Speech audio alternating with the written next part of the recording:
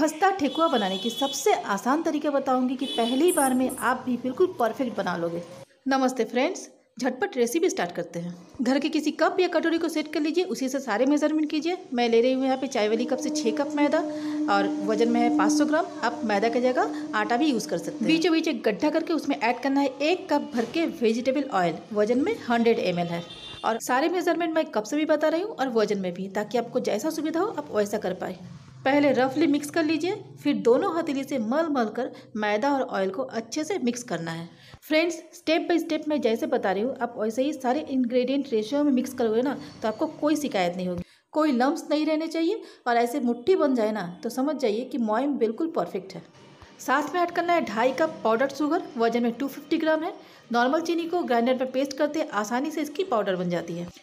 थोड़ा सॉफ्ट हाथों से मलकर ऐड कर दीजिए, इससे बहुत अच्छा स्वाद आएगा ठेकुआ में। आधा चम्मच इलायची पाउडर, बहुत बढ़िया फ्लेवर के लिए। आधा कप सूजी, इससे अच्छा क्रिस्पीनेस आएगी। सूजी बिल्कुल ऑप्शनल है, आप चाहे तो इसे स्किप कर सकते हैं। आधा सूखा नारियल ले लिया हमने। इसे ग्राइंडर में रुक रुक कर एक से दो बार चलाने पे ये अच्छा सा दरदरा सा हो जाएगी। एक कप ग्राइंड की हुई सूखा नारियल ऐड कर दिया हमने। आप चाहे तो और भी ड्राई फ्रूट्स ऐड कर सकते हैं या फिर इसे स्किप भी कर सकते हैं। अब इन सारे इंग्रेडिएंट को अच्छे से मिक्स कर लेना है। इस तरीके से बनाने का फ़ायदा यह है कि एक तो आपको पानी का टेंशन नहीं है कि कितना पानी लिया जाए और दूसरा मिक्सचर रेडी करके जब मन चाहे तब थोड़ा थोड़ा बना सकते हैं। डो का गीला होने का टेंशन नहीं है क्योंकि पानी तो हमने ऐड किया ही नहीं है तो चीनी पिघलेगी नहीं।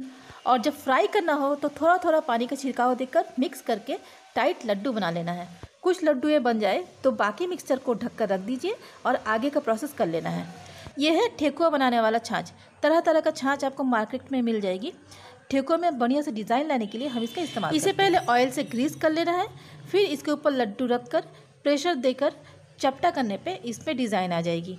साइड में जो दरारें आई है, उसे उंगलियों से ठीक कर लेना है तो फ्राई करने पे टूट कर बिखरेंगे नहीं। कुछ पीसेस हमने इस तरह से रेडी कर लिए हैं। और हाँ फ्रेंड्स अगर आपके पास छाछ नहीं है तो मन छोटा नहीं करना है। लड्डुओं को दोनों हथेली से प्रेस करके चपटा कर दीजिए, वैसे भी बहुत अच्छा लगेगा। आप चाहे तो चाकू से कट का निशान लगाकर डिज़ाइन कर सकते हैं, पर वो बहुत टाइम टेकिंग मैटर है। डिज़ाइन तो बस आँखों की तसल्ली है, स्वाद बिल्कुल दोनों का सेम रहेगा। फ्राई करने के लिए कढ़ाई में ज़्यादा तेल लेना है, ताकि ठेका बिल्कुल इसमें डूब जाए। तेल जब बिल्कुल गर्म हो जाए तो हाई फ्लेम में हर एक पीसेस को हमें तेल में छोड़ना है। सारे पीसेस जब डालना कंप्लीट हो जाए, तुरंत बाद गैस के फ्लेम को मीडियम कर देना है। स्टार्टिंग के हाई फ्लेम में इसकी आउटर लेयर सेट हो जाएगी और बिखरेंगी नहीं। मीडियम फ्लेम में तीन से चार मिनट कुक होने के बाद बहुत ही नाजुक तरीके से आहिस्ता से इसे हल्का सा हिलाइए ताकि नीचे सट ना पाए।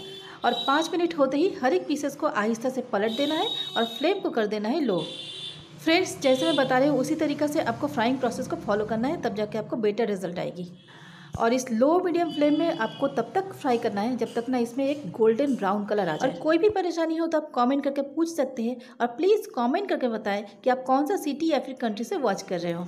एक बैच फ्राई होने में लगभग पंद्रह से बीस मिनट लगेगी। जब अच्छा से कुक हो जाए तो इसे बहुत ही नाजुक तरीके से उठाकर एक छन्नी में रख दीजिए ताकि जो एक्स्ट्रा तेल है ना वो निकल जाएगी। ठेकुआ में ये जो फटने की दरारें दिख रही है, ये बिल्कुल नॉर्मल है। इसका मतलब ठेकुआ बहुत ही खस्ता बना है। गर्म हालत में ये बहुत ही नरम होती है और आसानी से टूट जाती है, लेकिन जैसे ही ठंडी हो जाएगी, ये बिल्कुल सेट हो जाएगी। इसीलिए फ्राई करते वक्त इसे बहुत ही सॉफ्टली हैंडल करना होता है। एक बैच हो गया है, इसी तरीके से सारे को फ्राई कर लेना है।